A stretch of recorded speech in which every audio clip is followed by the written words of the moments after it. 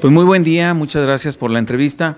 Eh, la carrera Vuelo del Águila es su segunda edición y consta de 5 kilómetros para adultos, obviamente, y tenemos una nueva modalidad de 2.5 kilómetros para niños.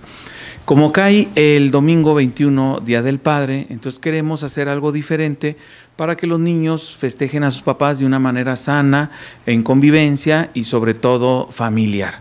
El costo de recuperación es eh, de 150 pesos, incluye la playera dry fit, obviamente, la hidratación durante la carrera y al final, eh, pues su medalla conforme vayan llegando como es de convivencia, no es por tiempos ni nadie va a estar ahí cronometrando y vamos a esperar a todo mundo. Es decir, si va una madre de familia y lleva su carriola con un bebé, igual la vamos a esperar hasta el final para ponerles también su medalla, no hay ningún problema.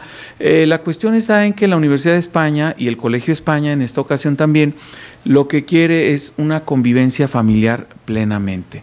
Si alguien quiere llevar a la mascota, como el año pasado nos sucedió, iban muchachos ahí corriendo con su mascota, también lo pueden hacer, obviamente debidamente bien, bien agarradita su mascota para que no vaya a haber alguien algún problema y se puede hacer. Eh, va a ser el, este domingo entonces, 21 de junio, en el puente El Baluartito a las 8 de la mañana en punto arrancamos. Si alguien quiere ir desde antes, a las 7 y media, lo puede hacer porque va a haber todo el calentamiento con unas personas que nos van a ayudar ahí de Zumba. Así que pues sería muy interesante que vayan desde temprano y obviamente ahí los esperamos a todos.